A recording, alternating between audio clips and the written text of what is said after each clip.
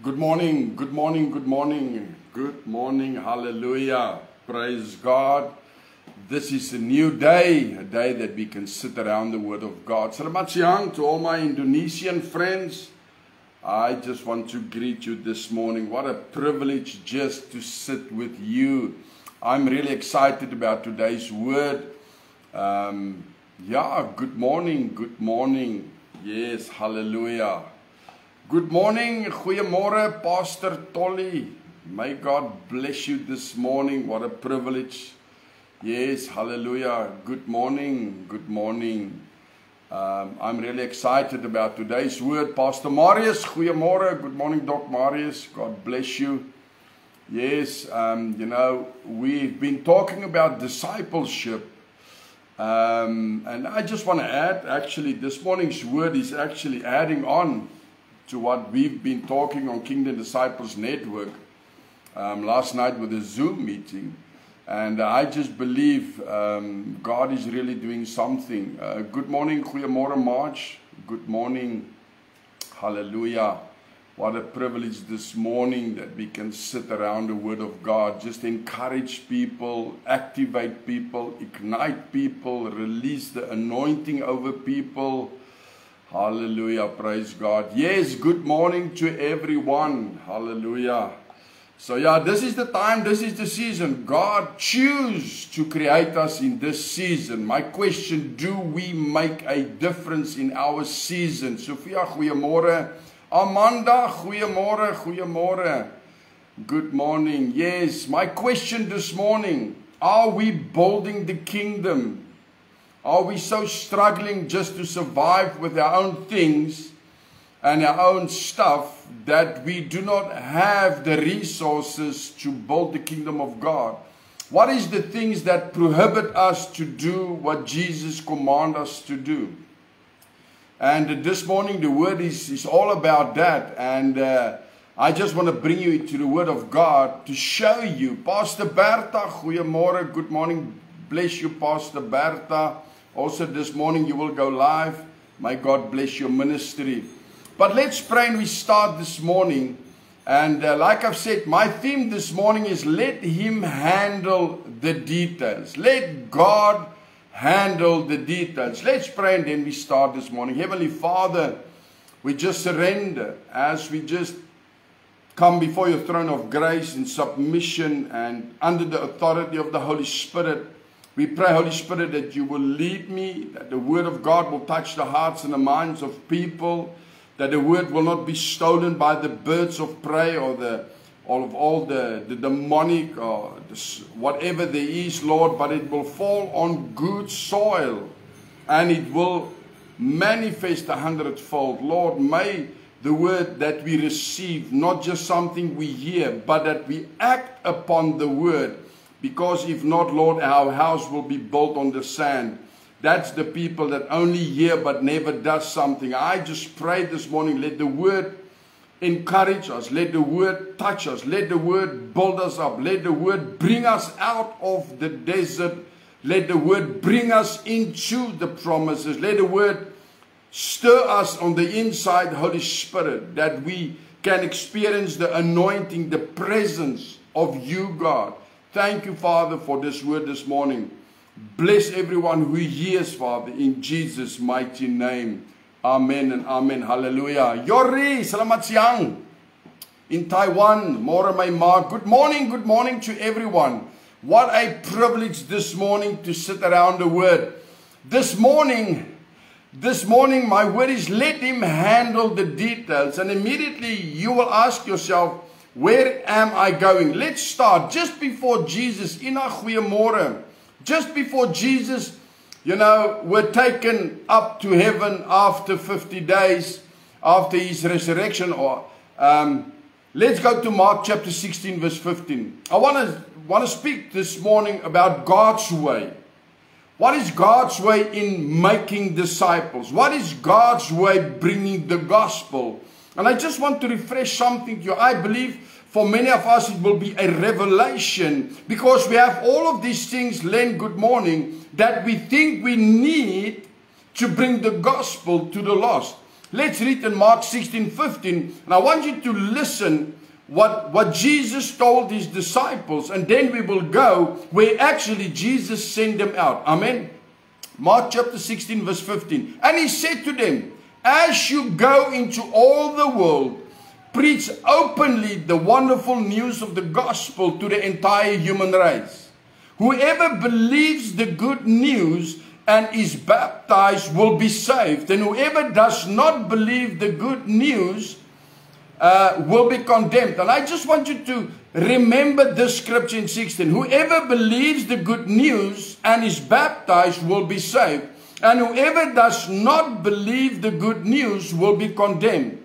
Remember those two opposite. There's one receiving and one not receiving.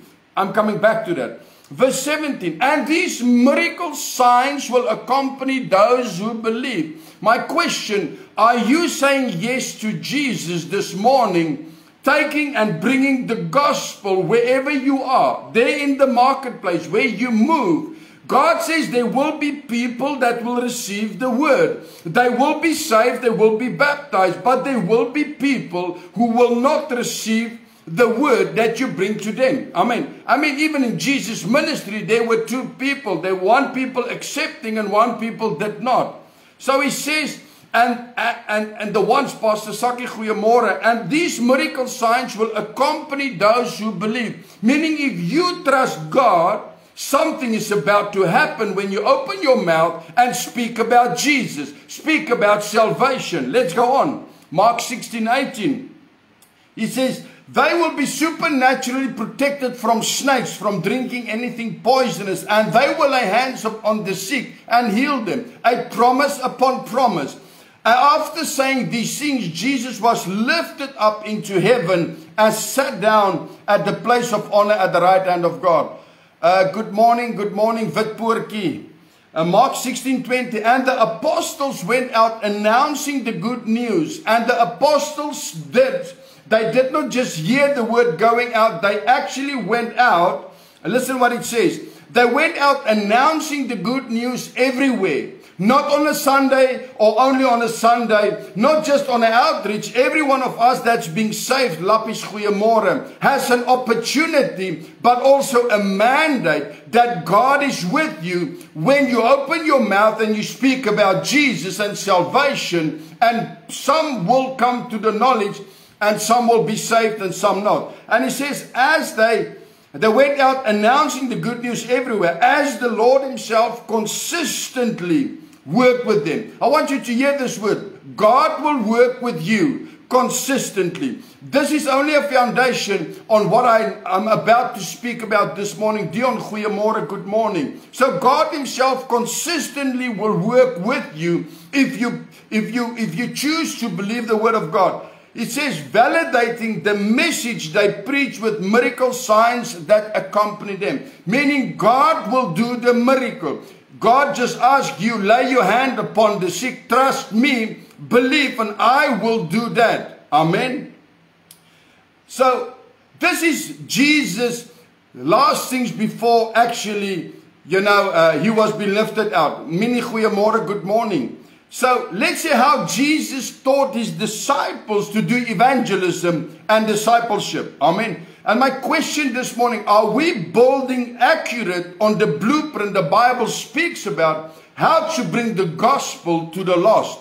We have so many things, you know, we have this 10 steps how to get people saved. But I want to I want to bring you this morning to the word of God. What did Jesus taught his disciples? Let's go to Mark chapter 6 verse 7 to 13. I'm going to really, I really want you to listen, open up your ears, because this is the blueprint on what Jesus says, how we should do things. So, Jesus in Mark chapter 6, verse 7, it says, He called the 12 apostles, sent them out two by two, and gave them authority over evil spirits. While it lines up what we just read You know, in the, in the first scripture, when God says, You go out, bring the gospel to the lost. Some will receive that and be saved, some will not. Here, Jesus show us how the actions should happen when he sent out his disciples. He said, I sent them out two by two and gave them authority over evil spirit. The first thing you need to understand, you have authority. It's not something you need to seek. If you have a relationship with Jesus Christ, you understand, and with the Holy Spirit, you have the authority. Amen. So Jesus called the 12 together. Aggie, goeiemorgen, good morning.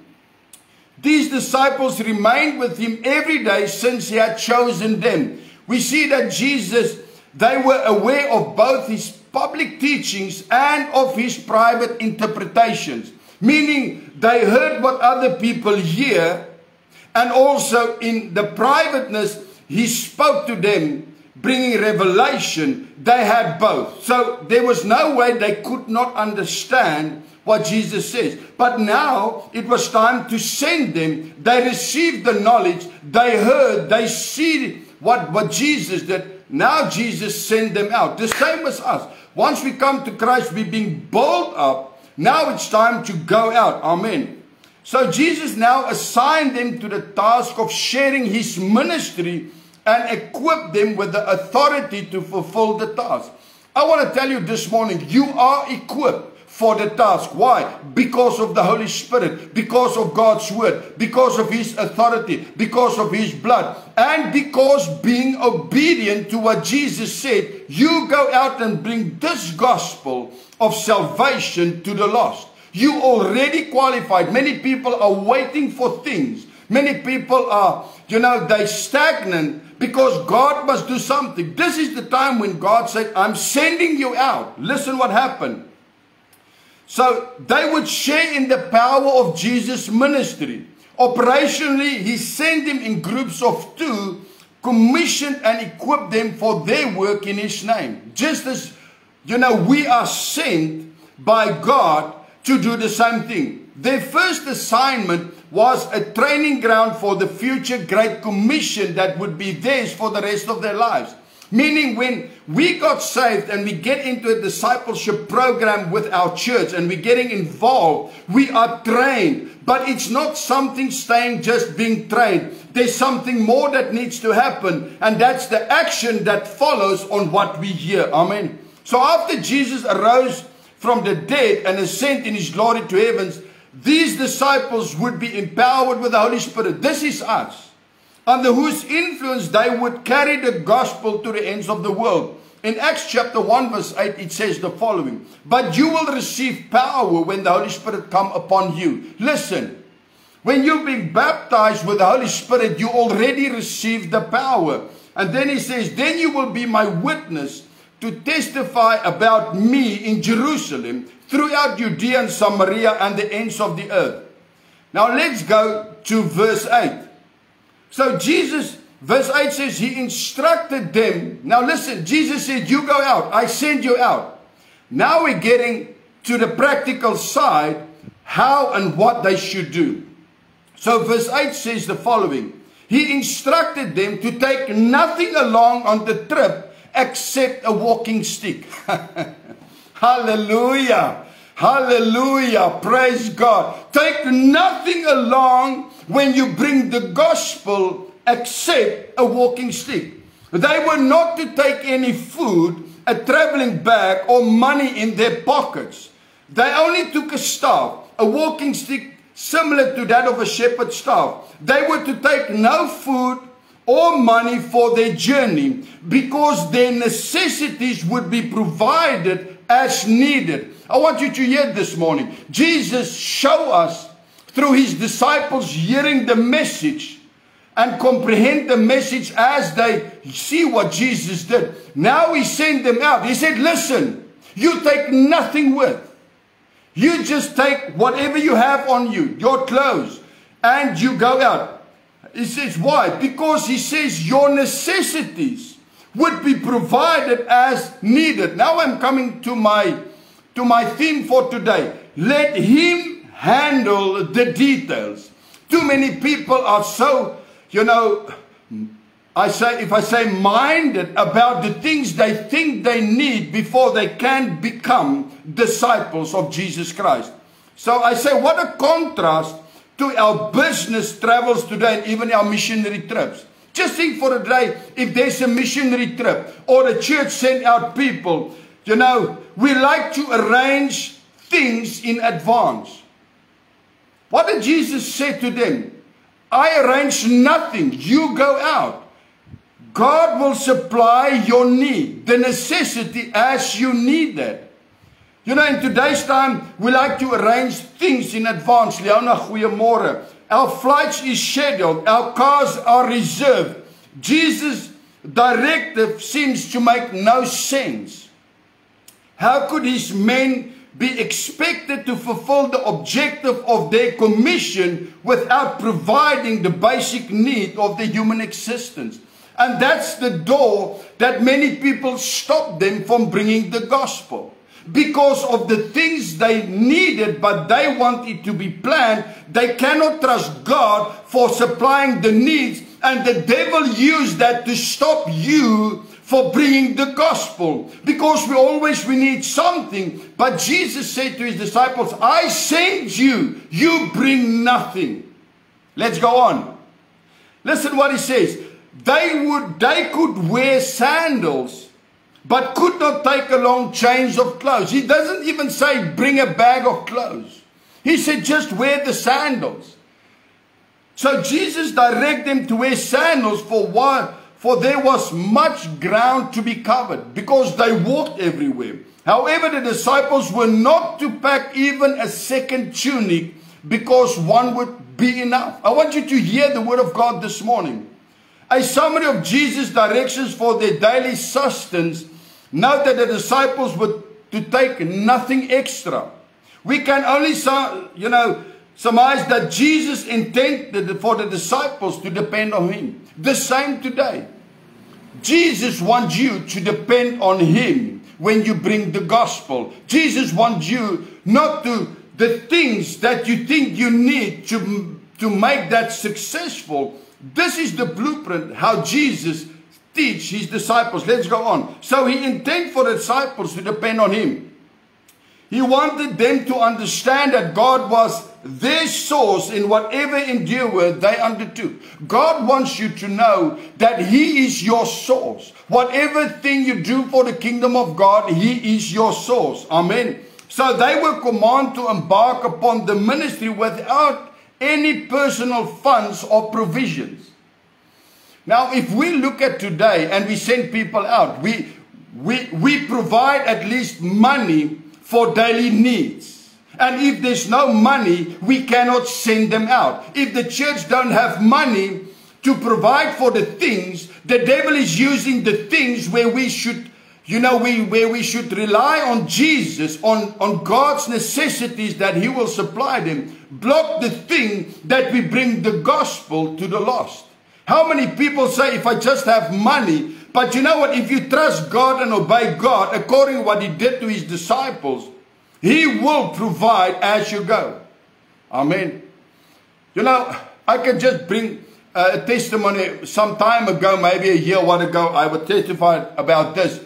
You know, I, I knew this family in, in Petersburg, Polokwane, many, many years ago, 1995. Now, the husband was medically retrenched already, maybe in his late 50s. His wife worked with me in the office. You know what they do for holiday?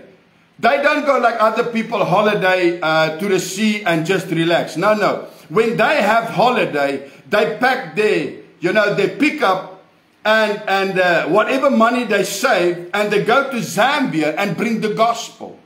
They, they use their holiday and many times she would have told me they only had enough money for one tank of fuel plus maybe half a tank. They have no arrangements where they will end up. They have no plan. They stand on this because Jesus said we need to go with what we have. Lizard, good morning.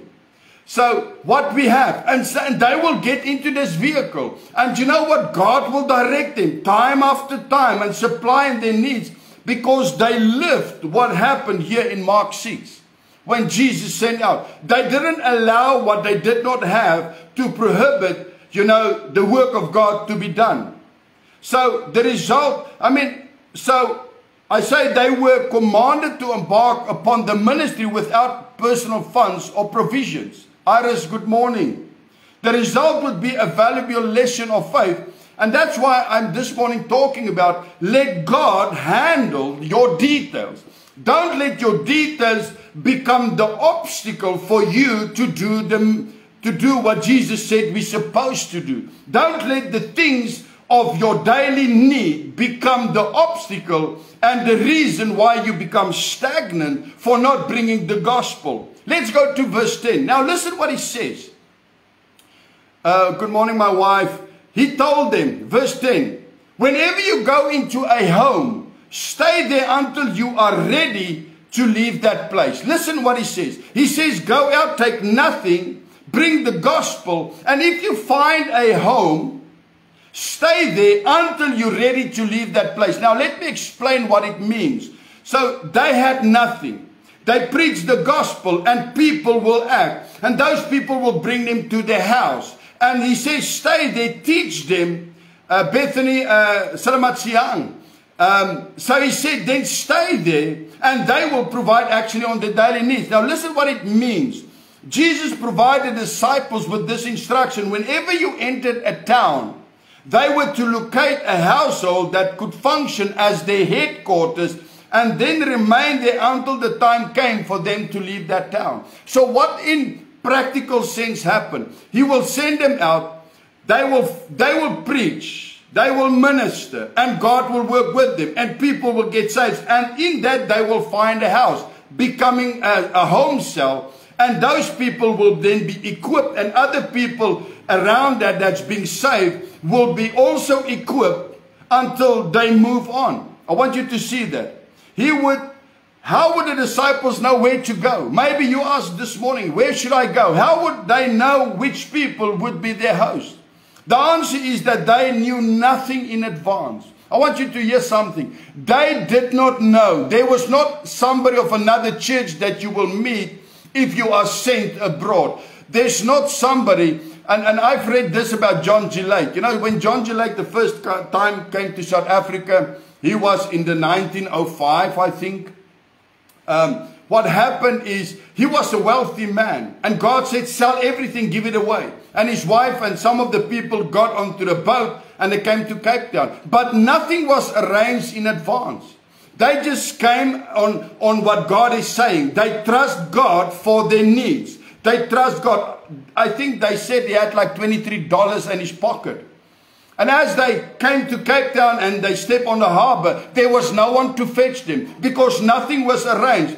And you know what? It says that the wife said, Who will pick us up? We don't know. But God will supply the necessity for this thing because we are obedient going out bringing the gospel. So, what happened then? 30 minutes later, here this lady come. I said, listen, I don't know, but I prayed and God spoke to me, this pastor from America is coming. Are you that pastor? Because I'm here to pick you up. You see, God supply when we follow his guidelines. So the answer, you know, they knew nothing in advance. Because what, you know, we limit the Holy Spirit by planning. I'm not saying don't plan. But what I'm saying, listen what Jesus teaches disciples. Jesus knew they would be cared for and that the loving Father would provide for all their needs.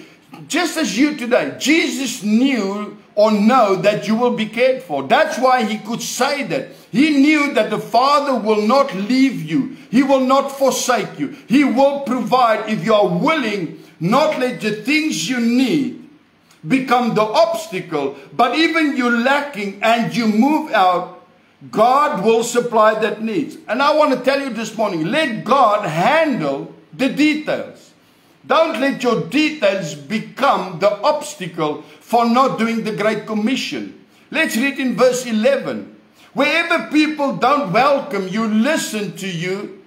Whenever people don't welcome you or listen to you, Leave and shake the dust from your feet as a warning to them. Remember, in the first, I said there's some people that will hear, receive the gospel, being saved, being baptized, and there will be people that will not. So I'm telling you, there will be people that will reject you. There will be people that will be saved. You just do what God has sent and equipped you for. Amen. So Jesus then outlined the spirit in which the, you know, they should do the ministry. So apparently, when the disciples entered a city, they were to follow Jesus' example. What was Jesus' example? He went into the synagogue and preaching. He went into the street, and on the way, he found people calling him like Bartimaeus, Jesus, Jesus, son of David, have mercy on me. Because they've, they've known the anointing, they've known the Messiah in what they've experienced. So Jesus said, You follow as you, you learn from me, as I, as I do. So, an example to preach, to heal, and to cast out demons. Jesus knew that their ministry would not attract anyone. He himself had just experienced that in Nazareth, where the people of his hometown did not really receive him, and not many miracles were, were actually happened in them. So, therefore, Jesus instructed his disciples to perform the task of the ministry and not to be concerned about the reception of their efforts. Can I say that again? You know, we are so concerned about the reception of our efforts, and we're not that concerned about to perform the task of the ministry. I want you to hear this morning the word of God. Jesus said, Listen, you perform the task, what I ask you. Do not be concerned about the reception of your efforts. If received, they should rejoice and accept the hospitality. If not received, they should leave and shake the dust from your feet as a warning for them. Now, where does this come from? In a Jewish culture of the day, it was customary for a Jew to shake off the dust off his feet when leaving pagan territories. I want you to see this. To preserve and maintain the purity of, of their Jewish culture. This was a symbolic gesture that reminded Jew of his unique heritage and that he was of of, you know, one of God's chosen. It was also a sign that the pagan did not participate in the Jewish traditions. Jesus now, now used this cultural custom against the Jews, the people. So this expression would symbolize that the disciples were Jesus, Jesus chosen. So when you're not received in a house, you when you bring the gospel, you just shake off the dust. Why? What are you saying? You do not and did not receive Jesus. So I leave that with there. Amen. So the Jewish race would not be enough. They would not be chosen by the Son of God Himself. So actually, the same thing they implied or act on, Jesus now said, if you shake it off, if somebody comes to you bringing the gospel and you do not receive, you cannot receive the Son of God, and I shake you off. Amen. I want you to see that. So, rejection of his chosen delegates was rejection of Jesus. And the same with you today. If someone reject you, it's not rejecting you. They reject Jesus. Amen. There's nothing more that God offers humankind than to send his only son to repent. Amen. So let's go to verse 12. So the apostles heard that. They didn't bring anything. They act on what Jesus said. And verse 12, it says, So the apostles went and told people that they should turn to God and change the way they think and act. Listen, this is the message we preach. Once we preach about uh, salvation, is for people to act, amen, so that they can change their ways and the way they think. So after Jesus' instructions, the disciples perform their assigned task of proclaiming the good news. Repentance was the predominant theme of John the Baptist. So when John the Baptist were laying the foundation, it was all about repent because he said someone is coming. When Jesus began, began his ministry, he preached the same message to the people. Now listen what Mark 1.15 says. The time has come and the kingdom of God is near. Change the way you think and act and believe the good news. Now, that was the same message Jesus passed on to his disciples, the same message he passed on to you and me. Let's go to verse 13. They also forced many demons out of people and poured oil on many who were sick to cure. So what to cure them? So what happened? They saw what Jesus did. They followed the instructions. They went out. They laid a hand upon the sick, and guess what? Those people were healed. Where people were demonized, those people will be set free. Just like, just like their teacher The disciples' ministry were marked with miracles.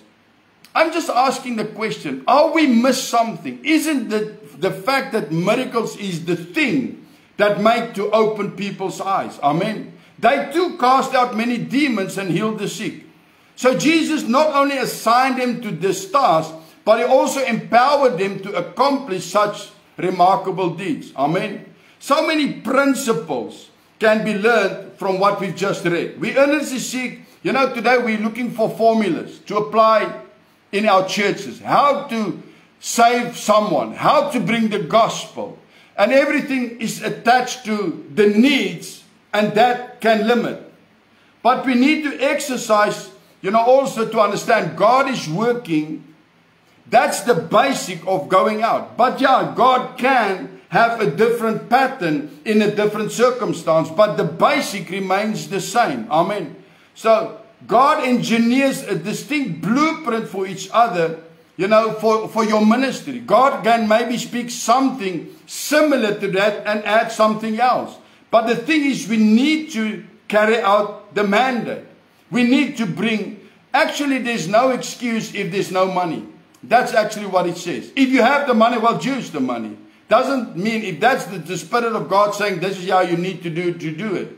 But the thing is, it says actually, if there's nothing, you need to trust God. Amen. If we bring the message, you know, of what I've just read in Mark 6, you know, into one praise or one phrase, it is that God provide for his own. I want you to hear this morning. God shall provide for you.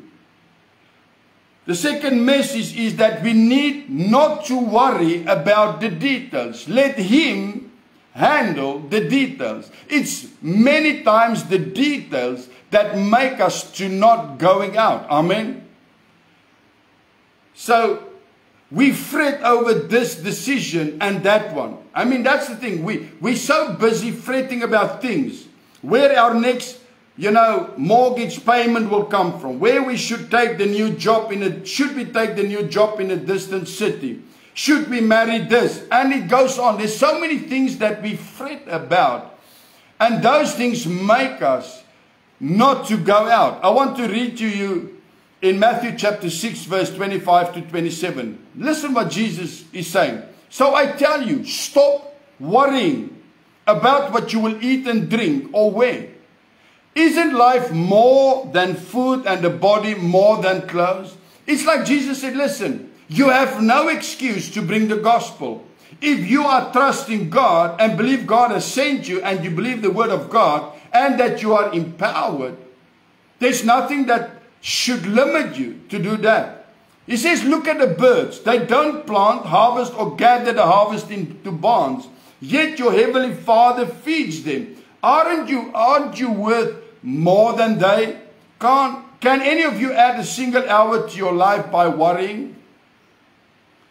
I said, now we are not told, you know, surely similar doubts reared, eh, reared in the minds of the disciples. I can just imagine being a disciple, maybe Peter. You know, Peter spoke so many things, and he was the only one that's married.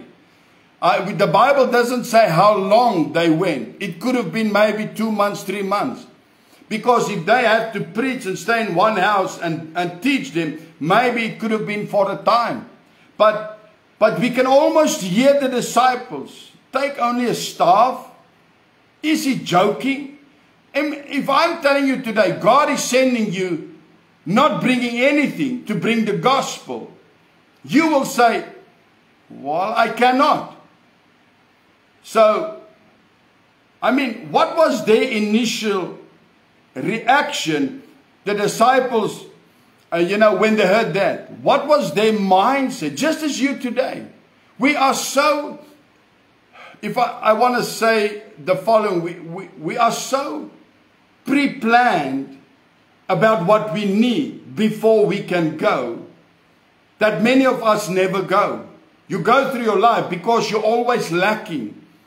Yes, I want to change the world. I want to go like Pastor Saki on an outreach. I want to bring and, you know, to people that's living in, dif in difficult situations. But I do not have. Well, what does Jesus say this morning? You just go. You let God handle the details. You maybe feel God sent me to Africa, but I, I cannot afford the plane ticket. I want to tell you, you don't need, you need to trust God on His word and the calling He's calling you for. Amen. So just think, if, I mean, the word is still valid today. We're also being taught. We're also being equipped. But when it comes to going out, we have all of these things that need to be pre-planned and money is the biggest thing we need to do the will of God. But yet Jesus said, listen, you'd bring nothing, not even an extra set of clothing, nothing, no money, no food. How much more my father will not provide for you, they said. I mean, they could have think in their hearts, well, it must be a joke. Amen. We don't know what is their initial reaction. But you know what? God blessed the work the disciples did because they did came back and, and they testified that even the demons flee from them.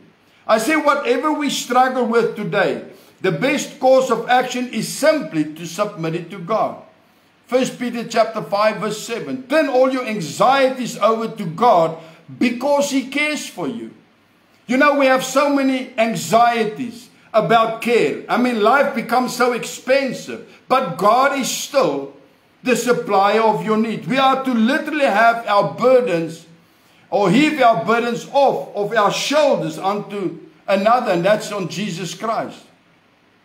In Matthew 11 28 30, it says the following Come to me, all you are tired from carry, he carry heavy loads, and I will give you rest. Place my yoke over your shoulders and learn from me, because I am gentle and humble. Then you will find rest for yourself, because my yoke is easy and my burden is light. We need to trust God for our futures. He assures us that we can find rest. But we are called and I want to stop here. I want to stop here. We are called for the Great Commission. And we saw how Jesus show us actually by sending out his disciples, bringing the gospel, the good news to the lost. And he said, bring nothing. And he says, listen, you will come into a town, but what you've been taught, trust me, I will work with you. Signs and wonders will follow you. And there will be people that will not accept you, and there will be people that will accept with a glad heart the salvation, and through them, God will supply whatever is needed. So, I this morning, I just felt this, you know, to tell and to, to speak this this morning to you. Let God handle the detail. If you felt that God is calling you in your spirit, you felt that I mean, it's not just evangelism or evangelists that this is relevant. That's to every one of the body of Christ. Maybe it's in your work. Maybe just like, you know, you know, bringing, and so many of us want to do something. Most of us want to do something to the poor. But you know what the poor need? They need the word of God. Because once they accept Jesus, you know, the word of God and God will help them being transformed and becoming or coming out of that situation. Let God handle the details in your life. When it comes that you need to trust God, trust God. Don't look at what you don't have. Maybe you are busy working and you're struggling with some money issues, but you are already busy in the field doing something for the kingdom of God. But then all of these things added, where will I get my mortgage or my rent from? Where will I pay this? And the fuel is becoming expensive. Listen, if we read this morning, you are the sent ones. Even you are busy maybe in your church with church work, but you are still the sent one. Trust God this morning. Let Him handle the details. You need to trust Him. You need to rely on Him. You need to put your faith in Him. But the main thing is, we can never say, you know, we never had, let's say, the opportunity to bring the gospel because I'd never had enough money. I never had enough resources. Then actually, you did not obey what God is saying. Because if He laid on your heart to go to an area, He said, just go, bring nothing. But now today it's like we want to bring food to an area and give them food and and then we bring the gospel. Well, if, if that's what God is saying, do that. But at the end, it's, it's the Spirit of God that want to touch them. Me and you are only the messengers. And sometimes we will be accepted and sometimes not. But the main thing this morning in my heart is let God handle the detail. Don't let the detail become your obstacle in the basic necessities of daily life becomes the obstacle and the excuse for you not to bring the gospel. But if you can put God on His word, assuredly not, He will not forsake you. Hebrew chapter 13, verse 5. I will not, I will not, I will not in any degree leave you helpless, nor forsake you. But I will provide for you. And that's my message this morning. Because you are special. And there's a harvest that needs to hear, you know, the gospel. Because that was Jesus' last message. We should go out. He will work together. You don't need to take anything. He will provide and He will work with you. Amen. I would like to pray for you this morning. Amen. Hallelujah. Heavenly Father, I thank you for this word. Lord, forgive us that so many times we make money the decisive factor to go out. Whereas you told your disciples, after they've seen your ministry, they've heard the message, they heard the explanations, you then teach them to go out. And the basic thing you said, you bring nothing.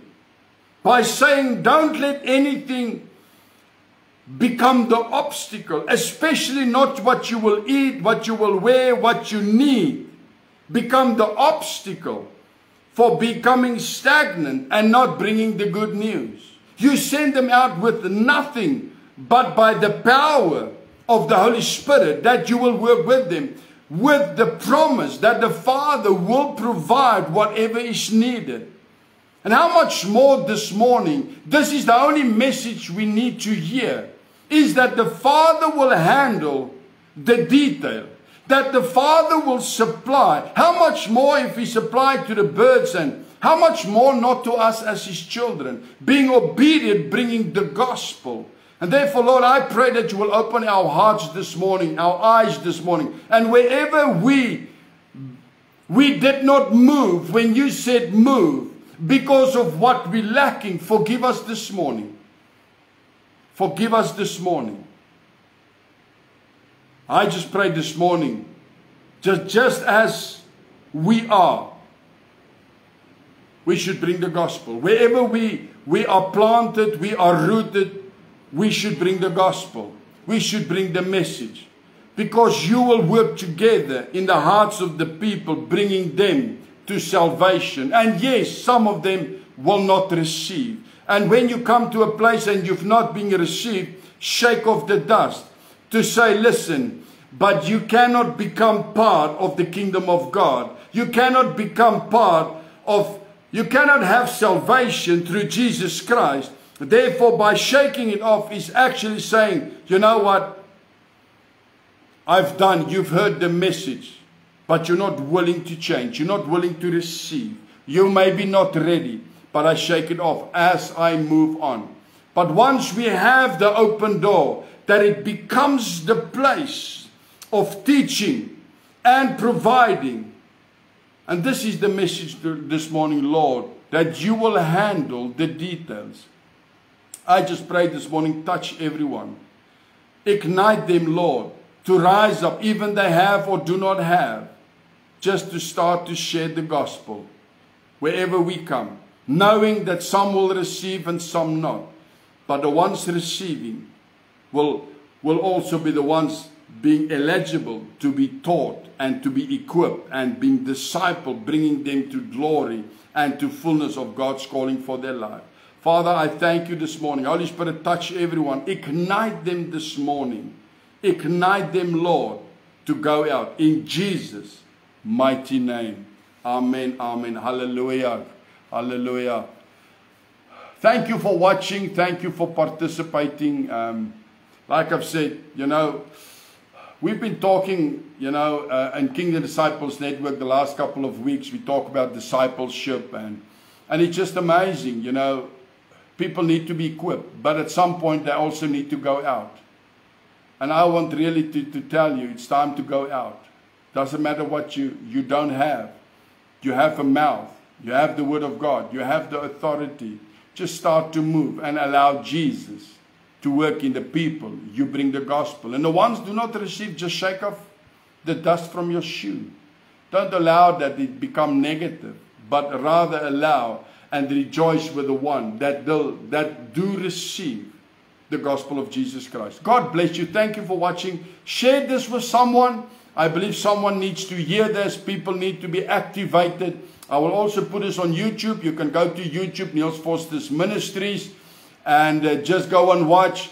I will put it there. Share it to other people because I believe it's time for activation. But also the main thing, let God handle the detail in your life. Maybe the things you fret about, the, the things you worry about, the things that is standing between you and being happy. Being happy means you can bring the gospel. Not being happy and worry about things and fret about things, meaning you are stuck. May God loosen you. May you move out and may you move in that joy and see the signs and the wonders and miracles God will do through your life. God bless you. Have an amazing day. Amen.